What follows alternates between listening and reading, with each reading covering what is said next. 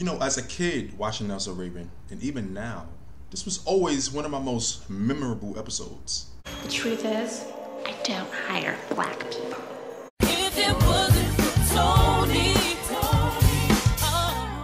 What's up guys, welcome back to my channel. Thank you for tuning back in.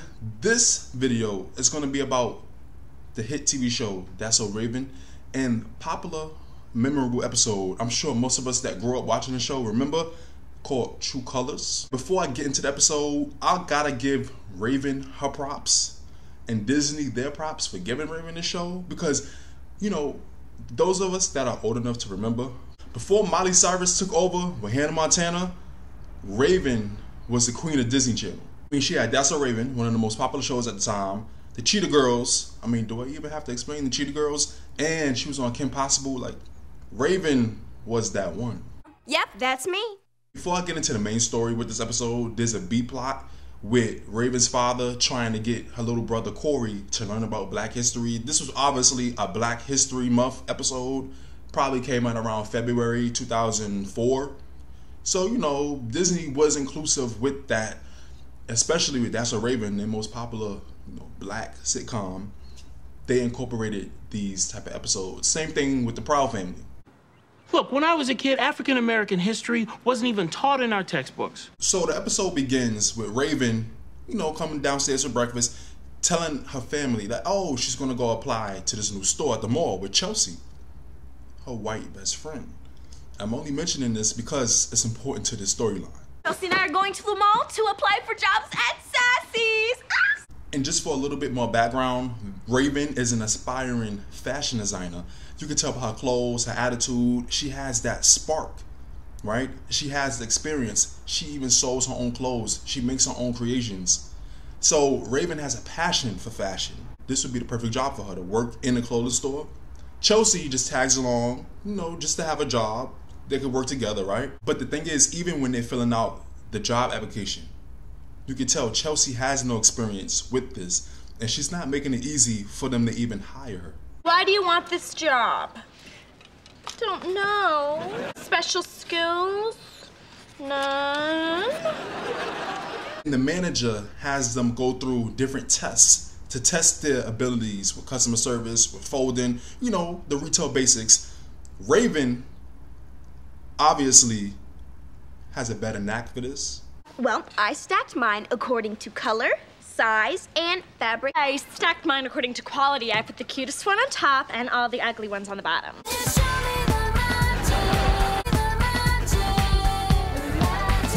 And even in her facial expressions, you could tell that the manager really doesn't like what Chelsea is doing. And she knows Raven is the better candidate. But we soon found out that Chelsea ends up getting the job. And when she asked about Raven, for some reason, even though Raven was the better candidate, Raven wasn't hired. You guys, I got the job! That's what I'm talking about! You saying that I didn't get the job?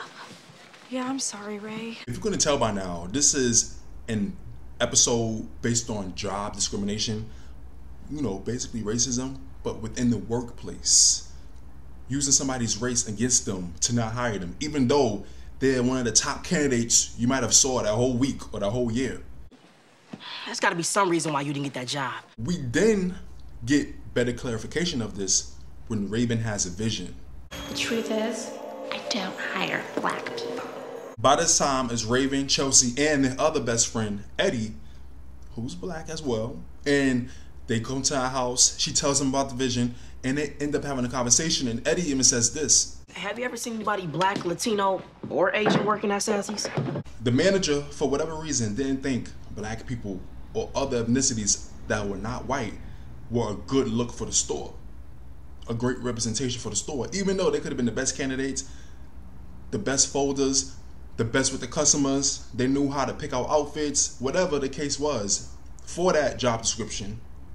They could have been the best ones. Like Raven, her race was the ultimate factor in her not getting the job. I can't believe I didn't get the job because I'm black.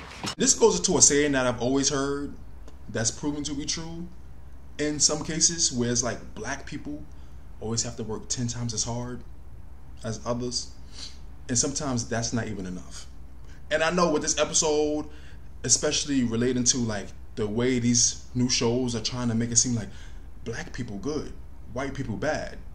That's not the case. But something like job discrimination, what Raven faced going against Chelsea, who was obviously less capable of doing the job, that happened. That happened 20 years ago when the episode came out, and it still happens today. Oh my God. Now I know y'all seen these news stories. Now the excuse is not oh, not because they're black. It's oh, braids or dreadlocks. Those are not in dress code or suitable for the workplace. So you ever see these stories about someone suing for like hair discrimination? You got things like the Crown Act, where you can now be discriminated against for having certain hairstyles, certain braids, certain dreadlocks, certain you know, black hairstyles. Could somebody please make it make sense? You got a twist hairstyle. Sorry. Great application. Great qualifications. Oh, you got two master's degrees, but we're going to pass. Thank you so much. Really? That is so stupid. Before I continue with the episode, I appreciate how blunt they were with the lady saying, We don't hire black people. Because, you know, this being Disney Channel, this being, you know, a kid show for a younger demographic, a lot of the shows, they wanted to have certain messages, they would kind of beat around the bush and you had to, you know, sugarcoat it. But they clearly had the lady come out and say, We don't hire black people. And I gotta say, as a little black boy watching this around 20, 19 years ago, I was about eight or nine when this episode came out. That really like struck something within me. And like I said, even all these years later, that was always one of the most memorable episodes. And not to say I had nightmares and I was like, every time I went to apply for a job. But that's always one of the tabs that stayed open in my mind. You know, you have a whole bunch of tabs on your computer. You have a whole bunch of tabs in your memory, right? That was always one of the ones that stayed with me every time I went to apply for a job, depending on who did the interview. And you don't want to think like that, but you have to. That's just the way the world is. That's just the way society is. Some people don't matter. They don't see you as, oh, this black guy applying for a job, this Asian lady applying for a job. They just see, oh, your resume. They like to meet you in person, see the energy you give off, and from then on, if the job is for you, they want to call you, right? But some people, like this lady in the episode, the first thing you see is the color of your skin.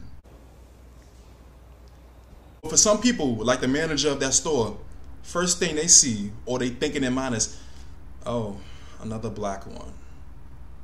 But they're entertained.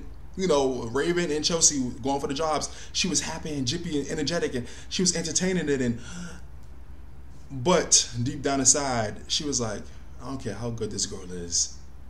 She's not working here. She'd rather have the incompetent white friend work there versus this black girl who's obviously better at the job.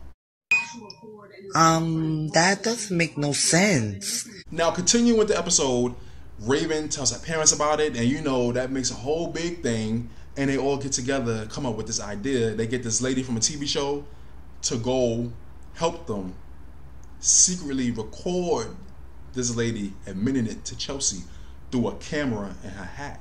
If this woman is gonna admit that she's a racist, you've got to be there to hear her say it. The mini camera is in your hat. This type of discrimination needs to be exposed. I got you on camera. You on candid camera now. Y'all know it wouldn't be a classic That's a Raven episode if Raven didn't dress up and get into some type of disguise. So Raven comes in the store dressed as an older black man. I want you to keep a really close eye on that guy over there. And immediately the manager tells Chelsea, go watch her, go watch him, go watch him. Chelsea's like, why?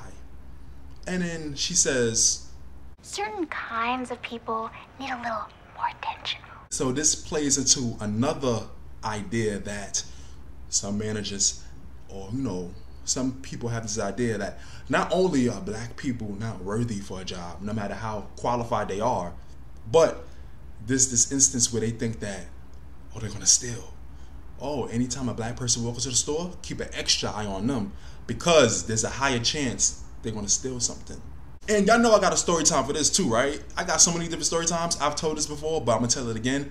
For those of y'all that don't know, I used to work at the Gap when I was in college, right? And this Gap store was in a very fancy neighborhood. Two blocks away were stores like Gucci, Louis Vuitton, Fendi. Yeah, this Gap was in that type of neighborhood. So we had all type of people, all type of demographics, different people coming to the store one instance in particular, this was in a two day span. I remember I was on the first floor. We had two floors. I was on the first floor ringing on the register.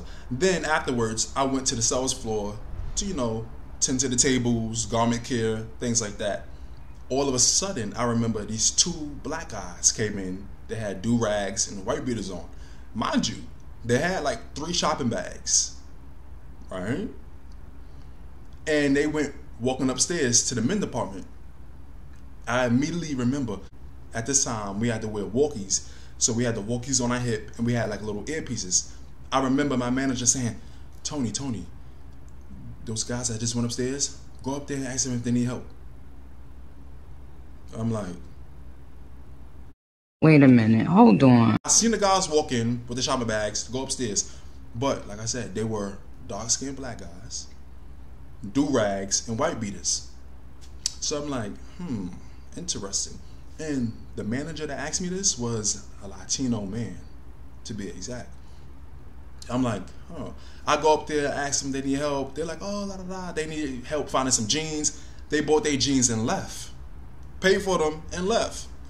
No problem. About two days later, I cannot make this up. I swear, I cannot make this up.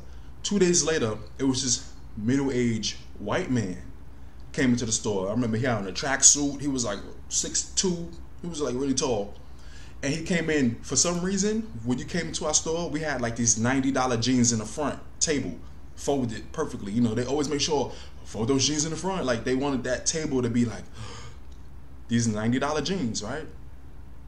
So he comes in, and mind you, this is these are women jeans. Men's section is upstairs. He comes in, he's looking at the jeans, he's standing there for a while. And I'm like, I'm on the floor, we have other people on the floor, but you know, nobody was really paying him no attention. This manager that told me to watch the black guys, he was also there too. He didn't tell me, oh, Tony, watch this guy in the front that's been standing there for 10 minutes. So the guy's just standing there looking at the jeans, and then out of nowhere, he snatches them all up and runs out the store. Everybody just jumps up like, what happened? What happened? What was that? I was like, that guy just stole a whole stack of jeans. Oh my God. I was like, interesting. Now the two black guys that came in here with a do-rag and white beaters, and you know, they were kind of sagging their pants a little bit with shopping bags, mind you. You wanted me to go watch them so bad. And Tony, go upstairs, ask if they need help. They bought their jeans and left. Middle-aged white guy that come in. Nobody thinks he's a threat. Nobody thinks he's a potential loss prevention accident, right? He's the one that actually stole. Down like that, okay? And you could tell he felt so comfortable doing it because he was like, oh, nobody gonna think I'm gonna do it. So he's just standing there smiling. You know, people walking in and out. He's like, mm-hmm. It was interesting to me in this episode how they had that lady double down on her prejudice and racism, and then she gives Chelsea a wink, like, you know what I'm saying. I think you know what I'm saying. In that moment, you could tell she felt that she had some type of solidarity with Chelsea in regards to their preconceived notions and prejudice against black people. Even though you know she came in with Raven, her friend, to apply for the job. You know Raven and her friends. For some reason, you thought this younger white girl was just going to be on that same page with you when it comes to the negative stereotypes and prejudice against black people. You're a dummy, bitch. To sum it up real quick in the end, Raven ends up acting like she's the manager of the whole entire franchise of that store. So then the lady starts acting real nice for her. And then they have Eddie, who's also black, you know, their black best friend, who's a guy, coming to apply for a job, right? To see how she acts. She, like I said, entertains it, but soon as Eddie leaves, you can secretly see her on the camera that Chelsea's wearing her hat. Say, oh, his application go right in the garbage. Of course not. let me get you an application. Listen to me. I have to pretend to hire this guy. And once again, we finally see Raven's vision when she says, The truth is, I don't hire black people. Shocking evidence of job discrimination. The plan worked perfectly. That lady ended up getting fired. And they all end up coming together at Raven's house for like a black history meal. You know, they made collard greens and macaroni, fried chicken. You know, the typical. And they all like have a nice, fun conversation at the end of the episode. Yeah, I'm glad we did it together, you guys. I meant the ice cream. Yes, yes, I enjoyed this episode for what it was, for what it was trying to teach, and just for the way this episode was an outlook on how the world is not always so perfect. Everyone is not always so nice. People are prejudiced. People will look at you, people will look at your race, people will look at your ethnicity, and just judge you before they even really get to know you. That prejudice they have against you because of your race will override all the great attributes and positive things you can contribute. And I really loved how That's So Raven explored this in that type of way. The plot was very ABC one two three, where you knew what was gonna happen, but I still enjoyed watching it as a little kid because it was so blunt and direct, and it made me think about it in a way even back then where I was like, hmm. And I remember my mother watched the episode with me, and she was telling me, yeah, that really happens, you know. But I gotta say, the only thing I didn't like with That's So Raven, and especially as I got older, I noticed this, is they fell into that same trope where it's like the main character gotta have two best friends, and one of the friends always has to be a dummy or act slow. This series, it was Chelsea, where Chelsea sometimes she was the ally to them, right? And that's the thing, they didn't see each other as, oh, my white best friend, my black best friend. They were just friends. But if you watch the whole episode, you see Chelsea is kind of like a dunce, and she's kind of like a, ah, ooh, ah. Like one minute she gets it, and the next minute she's like, oh my god, a banana. It's just like, Shut up! the whole thing with the main character with a dumb best friend trope that kind of got annoying and dragged out. Like they did it every other show. But regardless of that, I still feel like this episode holds up today. It's still effective. Some aspects of it is a little outdated, but the main message is very clear. You have to know yourself, hold your head up high, walk through this world with the high self-esteem, and not let factors like your race or ethnicity affect you, especially concerning other people's ignorance against you for things like that that you have no control over. Just do you, and everything will fall into place. And if you didn't know, there's always something better out there for you. What did y'all think of this episode with work discrimination and racism that they talked about and discussed? Did y'all relate to it? I feel like it was great that Disney had these discussions, that Disney was bold enough to make episodes like this, even back then. So the fact that some things now, some people are so surprised and oh my kids can't watch this. Why are they putting this in a children's TV show? Disney has always did this in a way, but just now in the 2020s, it's just more out there. Don't forget to comment, like, subscribe, hit the notification bell. Thank you for watching and listening. I'll see y'all in the next video.